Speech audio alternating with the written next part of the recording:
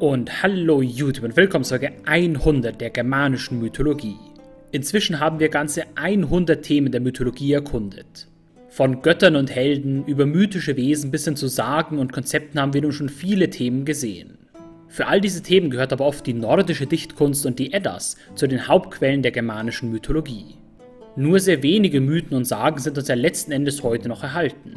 Und viele von denen, die wir heute noch kennen, verdanken wir ganz zentral einem Autor dem Isländer Snorri Sturluson.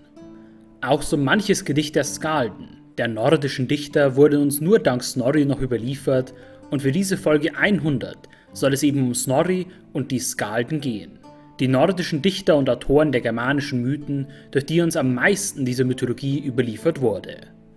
Für diese Folge 100 will ich aber noch kurz zu Anfang meinen Patreons danken. Eure Unterstützung macht Videos wie dieses hier und allgemein Projekte wie dieses hier überhaupt erst möglich. Dazu aber will ich ebenso allen anderen Zuschauern danken. Zu Beginn dieses Projekts war ich mir noch recht unsicher, ob so ein Mythologie-Lore-Projekt gut auf YouTube ankommen würde. Und so freut es mich umso mehr, nun bei Folge 100 zu sein und zu sehen, wie beliebt solche Videos zur Mythologie sein können. Nach dieser kleinen Vorrede aber soll es nun um Snorri und die Skalden gehen, die Autoren der nordischen Mythologie. Die nordische Dichtkunst, die die zentrale literarische Quelle zur germanischen Mythologie darstellt, wird generell in zwei Teile aufgeteilt. Zum einen die sogenannte Eddische Dichtung und zum anderen die Skaldendichtung. Tatsächlich haben beide diese Gruppen der nordischen Dichtkunst sehr viel gemeinsam und oft wird die Unterscheidung überhaupt kritisiert und als problematisch gesehen. Wie die gesamte alte germanische Dichtkunst verwendet auch diese Form der Dichtung den Stabreim.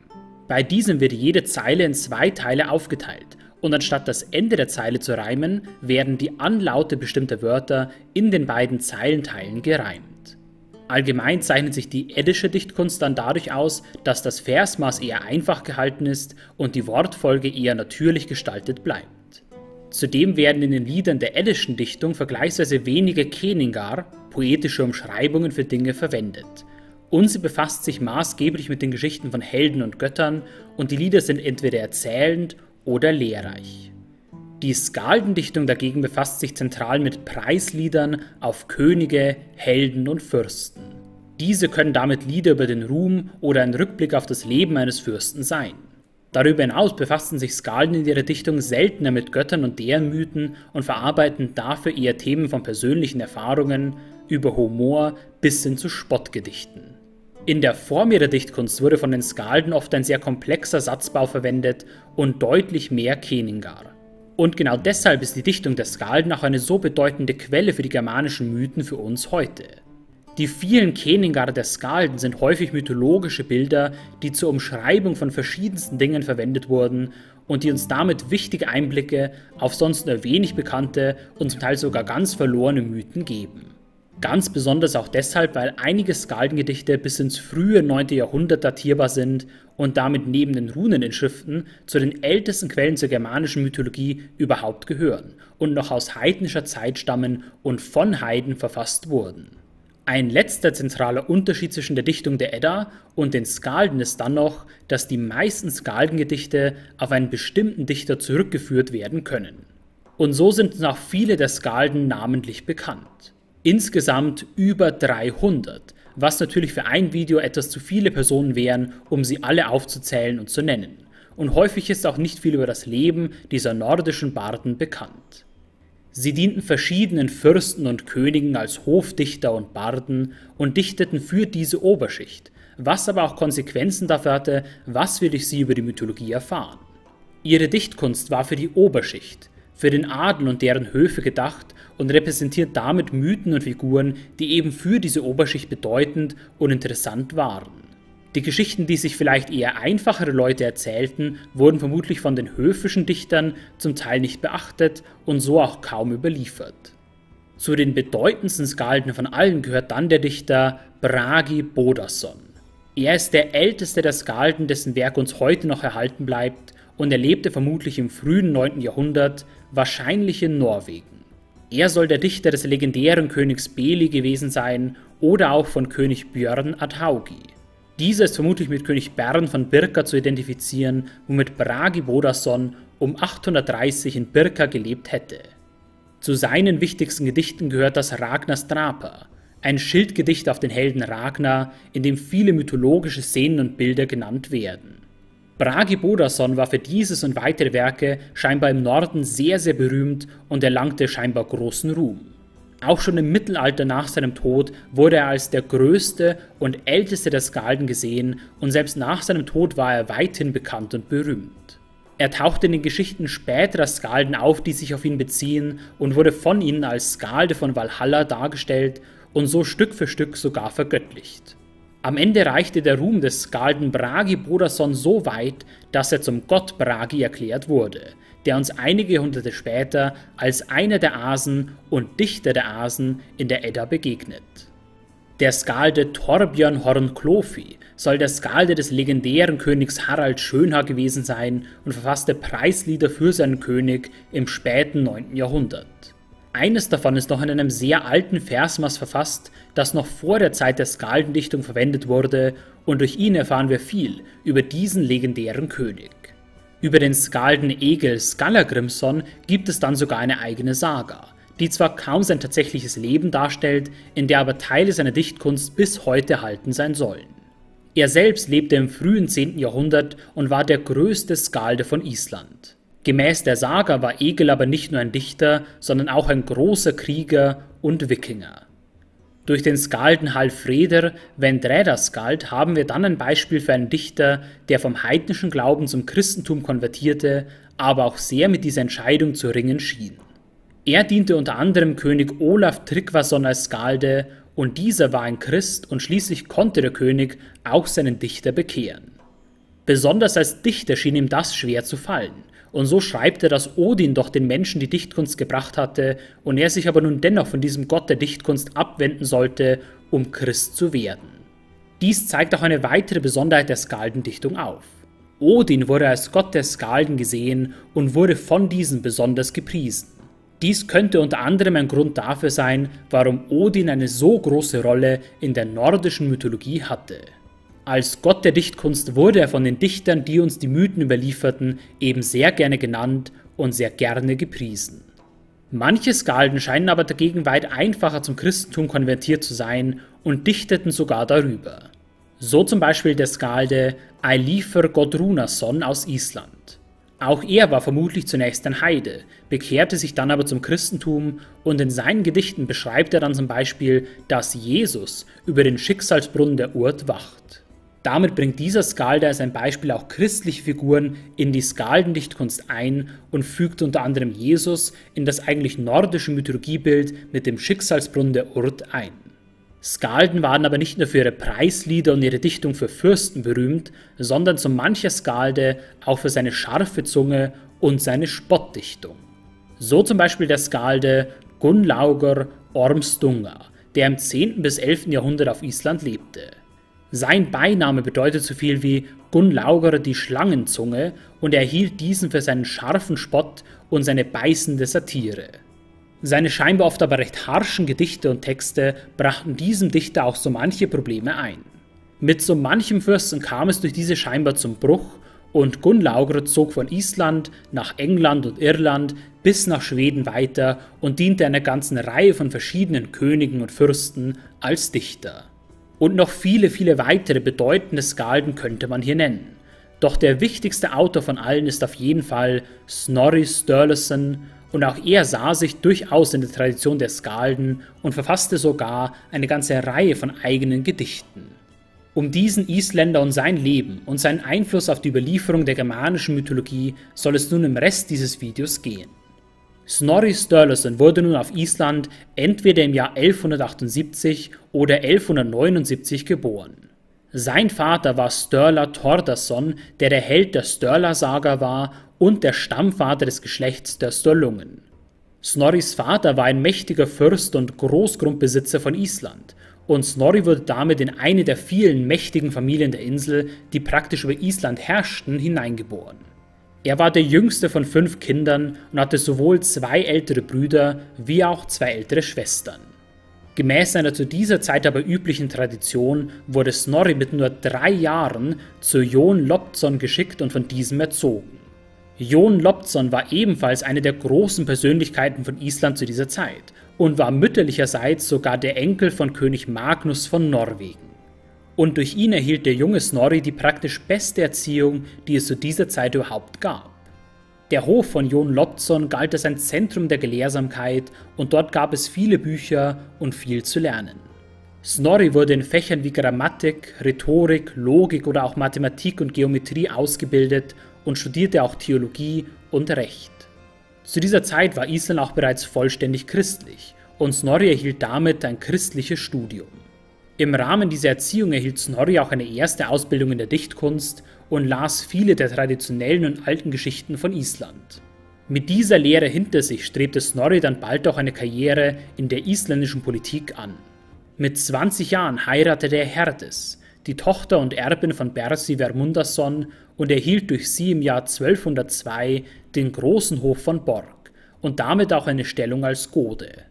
Dieser Titel des Goden wurde sowohl für Priester wie aber auch für Häuptlinge und Großgrundbesitzer verwendet.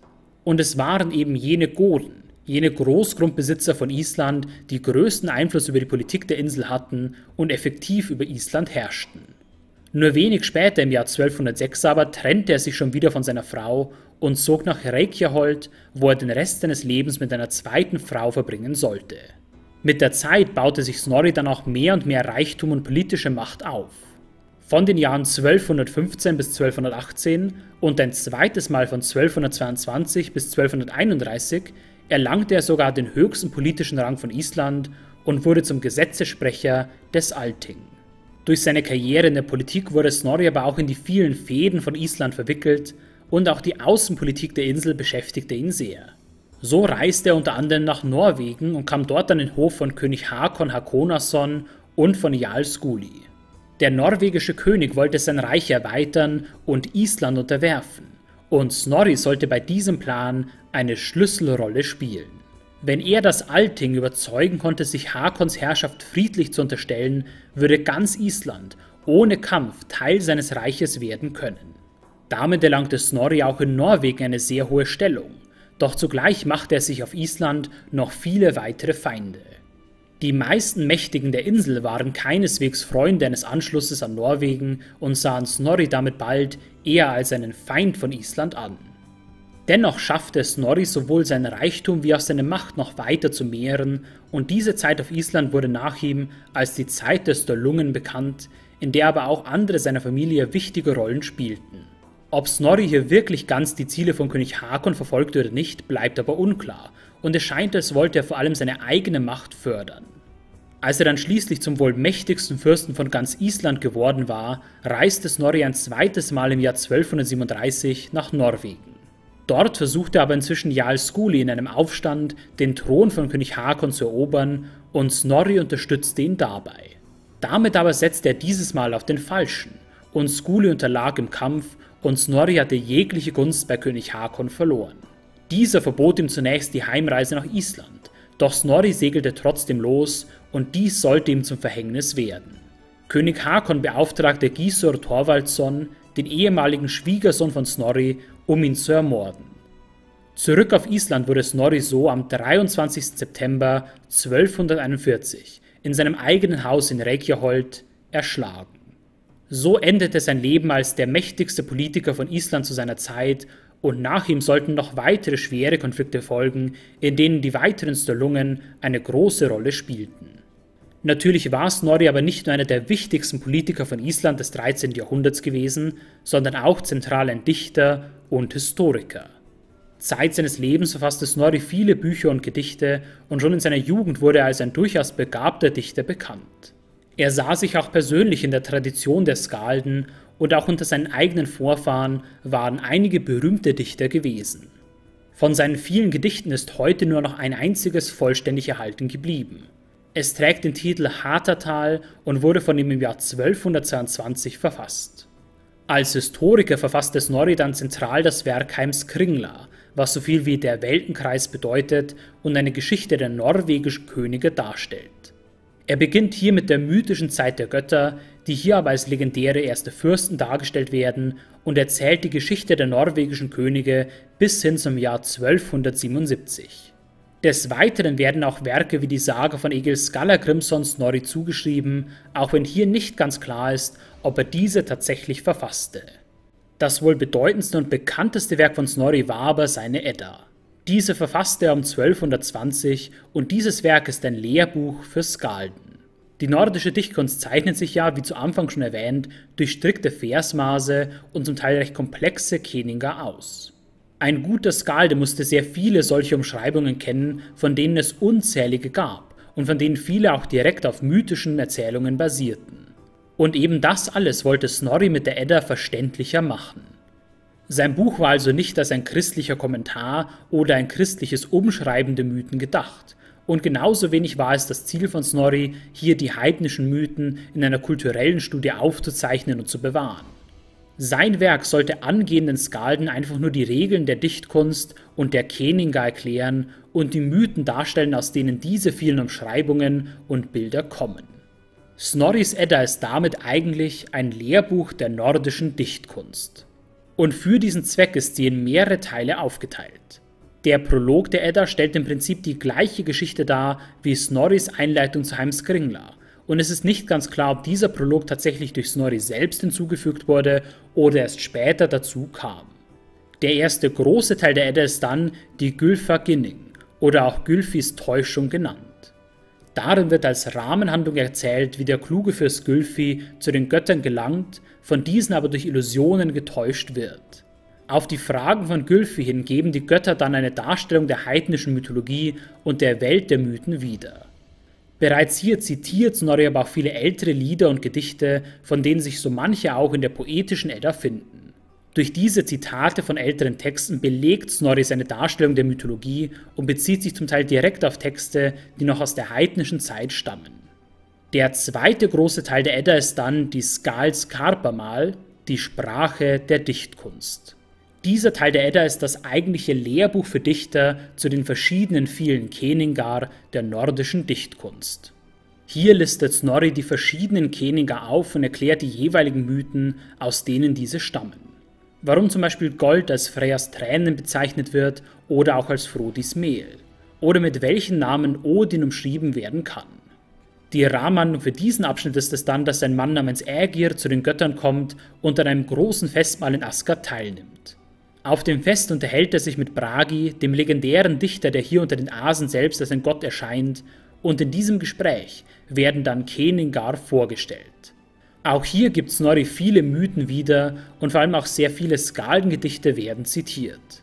Durch diese vielen Zitate hält Snorri auch hier deutlich ältere Texte fest und gibt uns einen Einblick auf Texte aus der heidnischen Zeit.